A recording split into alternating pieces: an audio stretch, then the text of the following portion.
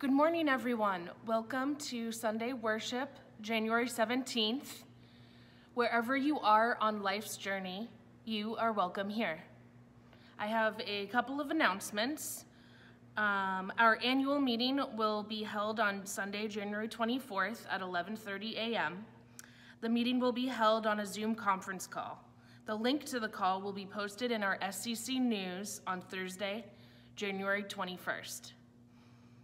If you have not returned your annual pledge card, please take some time to prayerfully consider your pledge and return it to the office. Pastor Donna will be holding a Zoom Bible study beginning Monday, January 25th at 7 p.m. There will be three books in the meeting series by InterVarsity Press, Meeting God, Meeting Jesus, and Meeting the Holy Spirit. Everyone will have their own workbook and we'll meet for an hour each week. Please contact the office if you have any questions or would like to join the group. That is all the announcements I have for this morning. Let us all enter a prayerful time for worship. Allow joy and love to flow through you and out there. Transform our darkness to light, from sleeping to wakefulness. And so the world awakes, one cell at a time. One cell is happy awareness of union with the divine. Your time has come for wakefulness and help to create paradise in love and joy. Be a conscious participant. Live in the now, not tomorrow or yesterday, but in the only time that is real, eternity. Please join me in the prayer of invocation and the Lord's Prayer. O oh God, help us to come into a place of quiet so that we may hear your word. Encourage us to listen and spread love. God, we want to be your humble workers. We want to do what is right and good. Hear us now as we pray the words you taught us, saying, Our Father and Mother, who art in heaven, hallowed be thy name. Thy kingdom come, thy will be done, on earth as it is in heaven. Give us this day as we forgive our debts and we forgive our debtors. And lead us not into temptation, but deliver us from evil. For thine is the kingdom and the power and the glory forever. Amen. Dear God, help us to do better. We are your humble servants. Help us to be instruments of peace empathy, and love. We want your guidance. Amen.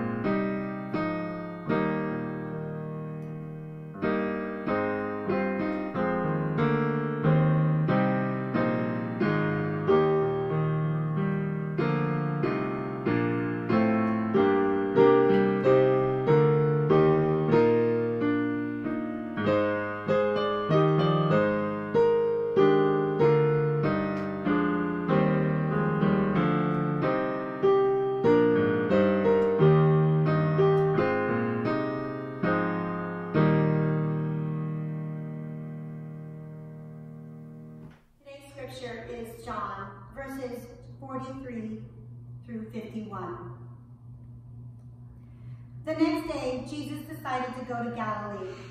He found Philip and said to him, Follow me.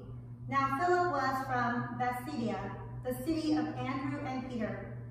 Philip found Nathanael and said to him, We have found him about whom Jesus, excuse me, Moses, in the law and also the prophets wrote, Jesus, son of Joseph from Nazareth.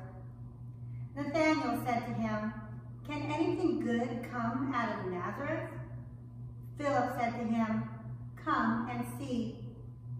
When Jesus saw Nathanael coming toward him, he said of him, Here is truly an Israelite in whom there is no deceit. Nathanael asked him, Where did you get to know me? Jesus answered, I saw you under the fig tree before Philip called you. Nathanael replied, Rabbi, you are the Son of God. You are the King of Israel. Jesus answered, Do you believe me because I told you that I saw you under the fig tree?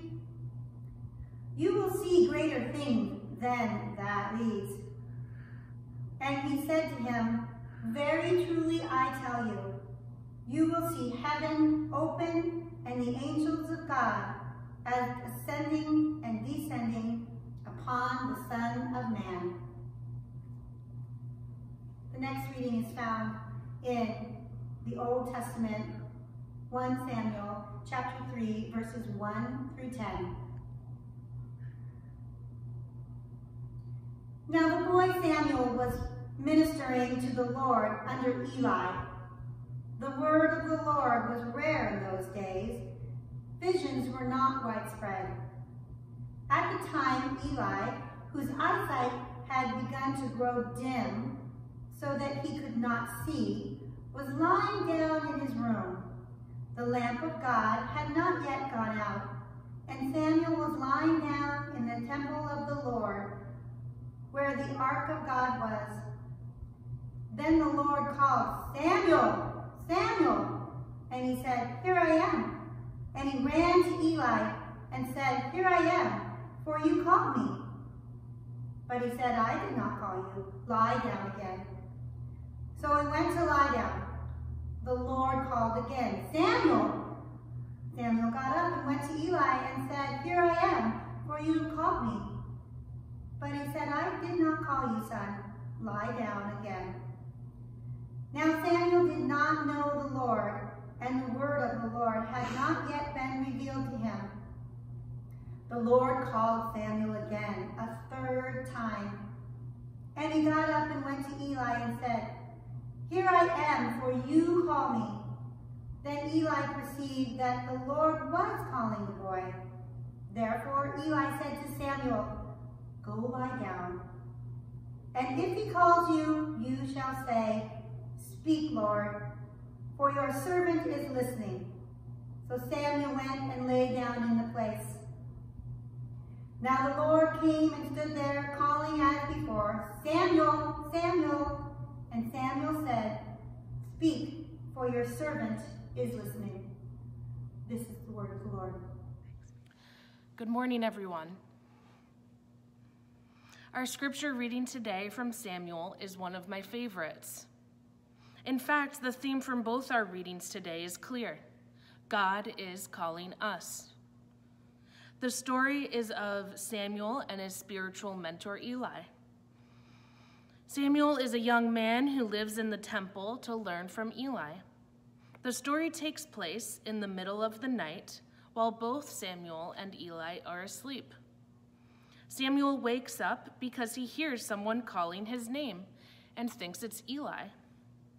The story has Samuel awakens three times with a call a common story technique used in many stories to make a point. As the readers, we know that it is God calling Samuel. But for the first several times, neither Samuel nor Eli know what is happening. Finally, Eli understands and says to Samuel, If it happens again, do not be confused. Simply say, Speak, Lord, for your servant is listening. I want to break down this story into several pieces because there are so many things happening in it that we can all relate to today. The first thing to note is the community's landscape at the time of Samuel and Eli. The Israelites had made it to the promised land, but things were far from perfect. The books in the Bible, Joshua and Judges, right before 1 Samuel, paint a picture of turmoil and tribes threatening war against each other. The Israel nation is not organized, and it is a dark time.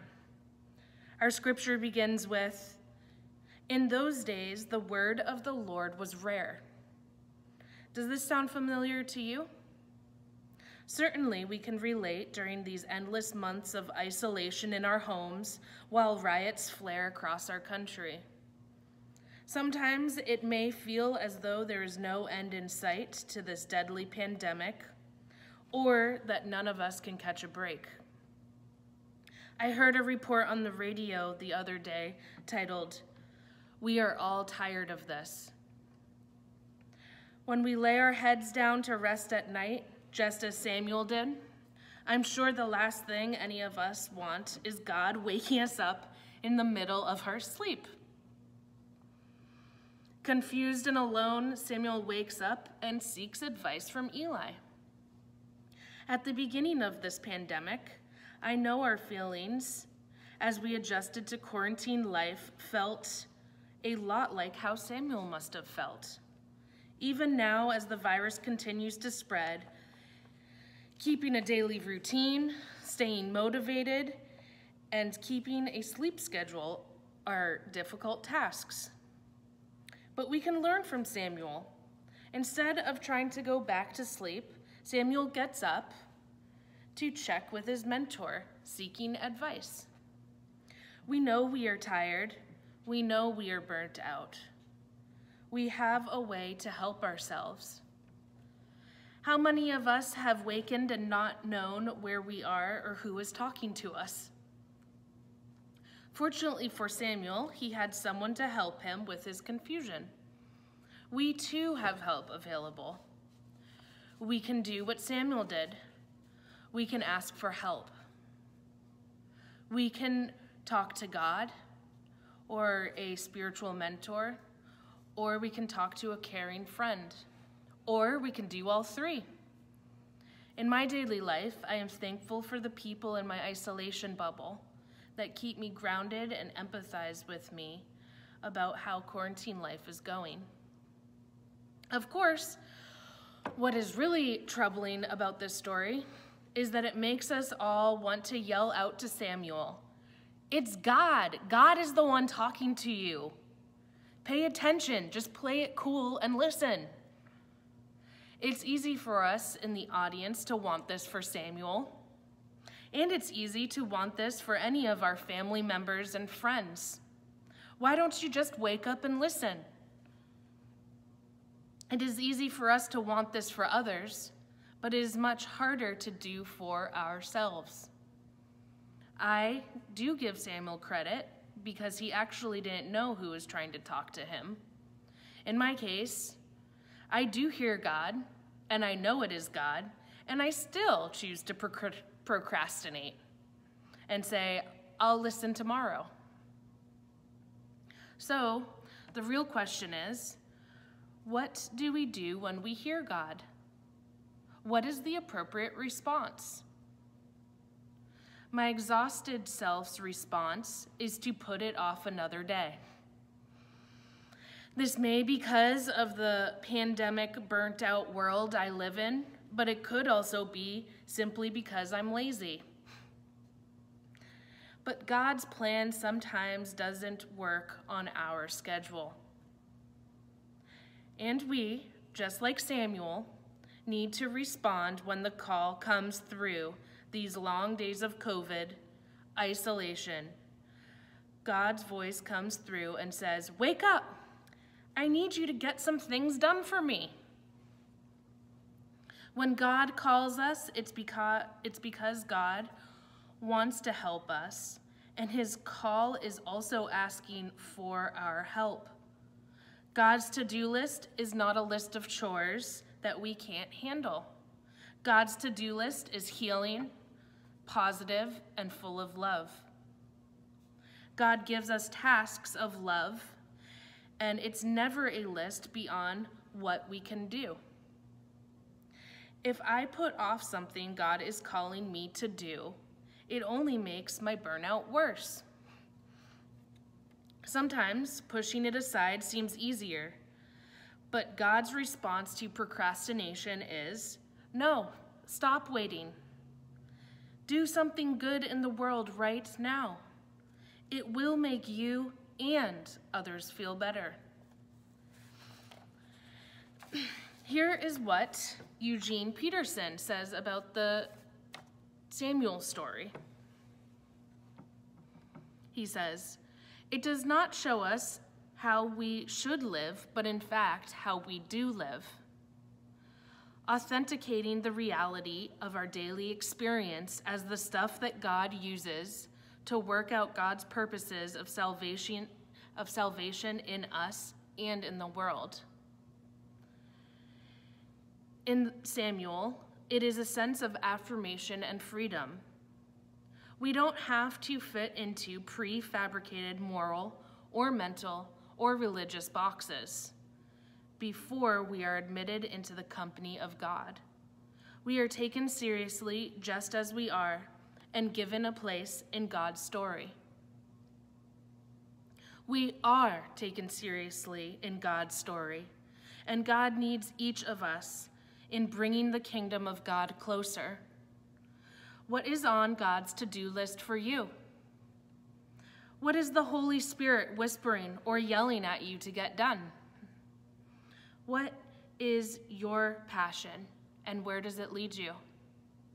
Perhaps the to do list is short and simple, or maybe it is a little more complicated.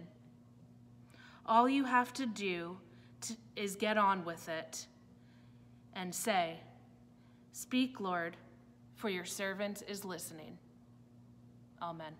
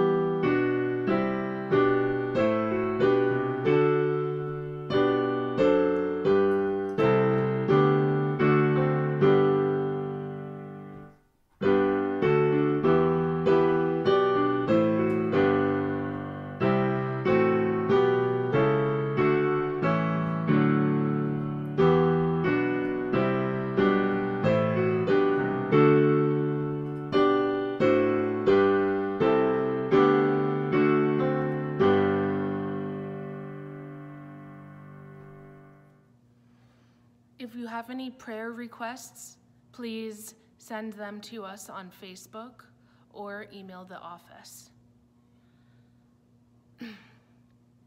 Let us all now join in prayer. Dear God, be with us in this time of prayer. Forgive us when we do not listen and procrastinate. We want to be helpful in spreading love and doing your work. We care so deeply, but do not always show it or use the talents you gave us. Comfort us and guide us through this pandemic. Bring peace to our nation, so that we may hear one another and create lasting change. Heal the families that need healing. Guide the leaders that need guidance. Forgive the people that need forgiveness. We pray for Kaylee, Donna's niece, Joan Philbrick, Val England, Heidi, Maurice and Lucille LaChance, Bill Coate, Mike Matthias, Stella Scammon, and all of those suffering with cancer issues, and all of those caught in the increase of COVID cases. Oh God, hear all of our thoughts that we do not say aloud now.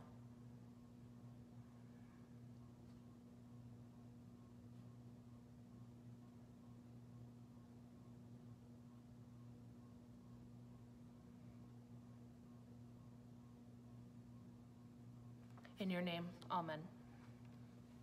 Go now. May the strength of God pilot us. May the power of God preserve us. May the wisdom of God instruct us. May the hand of God protect us, and may the way of God direct us.